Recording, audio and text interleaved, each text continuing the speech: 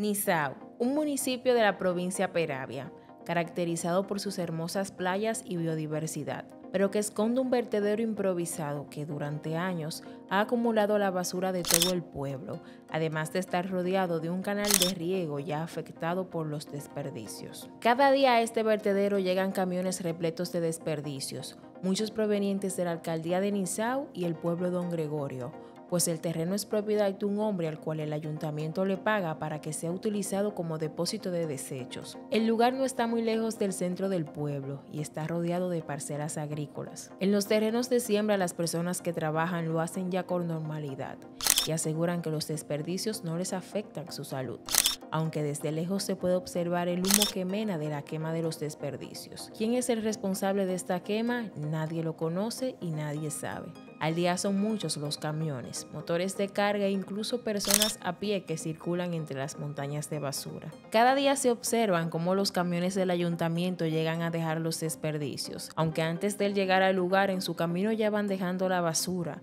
afectando principalmente al canal de riego, más conocido como la Rigola en el pueblo, una fuente vital para la agricultura de la zona. La basura ubicada por todas partes ya ha contaminado su agua, pues uno de sus visitantes cuenta que hasta animales muertos ha visto posar en este, además de las bolsas de basura que la gente deposita sin importar a dónde terminan.